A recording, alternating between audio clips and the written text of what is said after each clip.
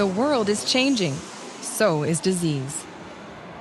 With the increase in global travel, the threat of a deadly pandemic sweeping the planet is no longer a question of if, but when. Funded by all levels of government and the Canada Foundation for Innovation, led by VIDO, the Vaccine and Infectious Disease Organization, and envisioned by VIDO's former head, Dr. Lorne Babiuk, InterVac, the International Vaccine Center, is a cutting edge containment level 3 facility for the study and treatment of some of the world's most deadly diseases. With their partners in both government and industry, VIDO InterVac creates a one stop shop for vaccine development and delivery. Students and researchers play a key role in this collaboration.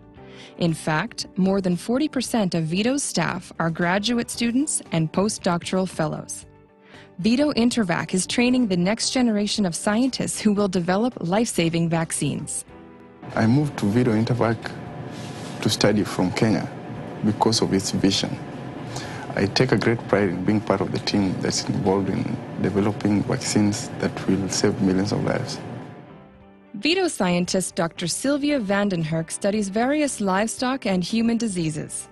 One of her current research projects relates to hepatitis C, a disease that affects 170 million people worldwide. Persistent hepatitis C infection can lead to extensive liver damage and is thought to affect human cells that are key to developing immune responses.